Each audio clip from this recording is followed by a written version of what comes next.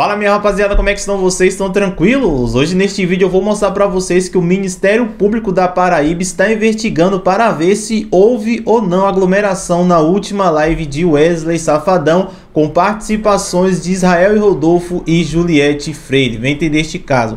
Mas antes do assunto, eu gostaria de pedir para você que está chegando aqui agora, primeiramente, seja bem-vindo. Não se esqueça de se inscrever aqui embaixo no nosso canal, ativar o sininho de notificações e deixar o seu like para você ser lembrado toda vez que eu postar conteúdos novos aqui.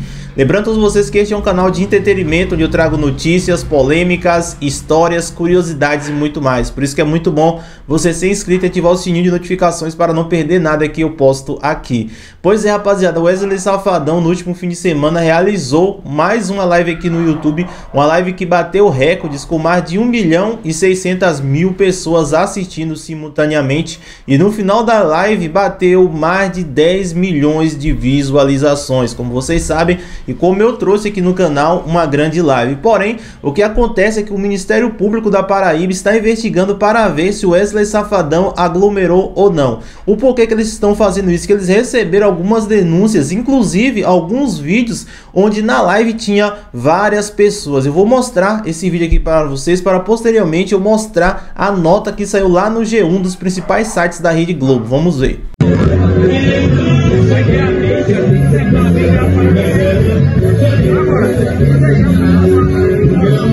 Thank you.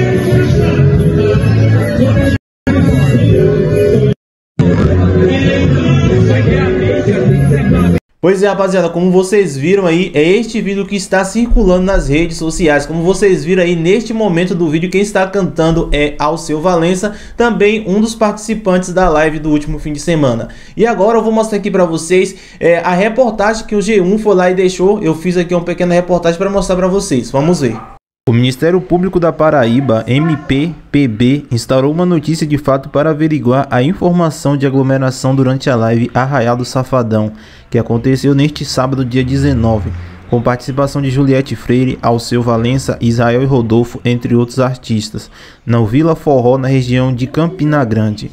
Conforme o MPPB, a promotora de justiça que atua na área de saúde em Campina Grande, Adriana Amorim, confirmou a instauração de procedimento inicial de apuração de um fato. O Ministério Público da Paraíba quer esclarecer os fatos que chegaram ao seu conhecimento para adotar as medidas cabíveis, disse em nota.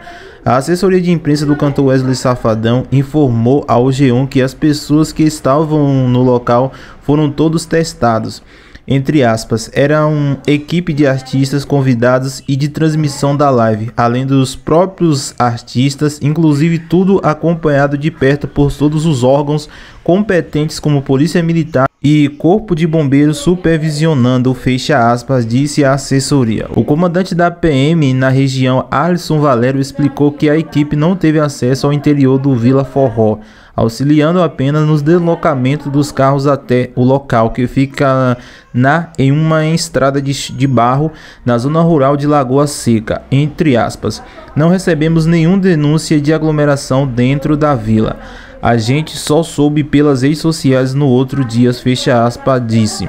O G1 tentou entrar em contato com a assessoria da Vila Forró, Juliette Freire, Israel e Rodolfo e Alceu Valença, mas até as 15 horas e 15 minutos dessa terça-feira 22 não obteve resposta. Juliette Freire campeã do Big Brother Brasil 2021, participou da live de Wesley Safadão, o Arraiado Safadão, que também contou com a participações de Israel Rodolfo, Alceu Valença e Tati Guel e Tiro Lipa.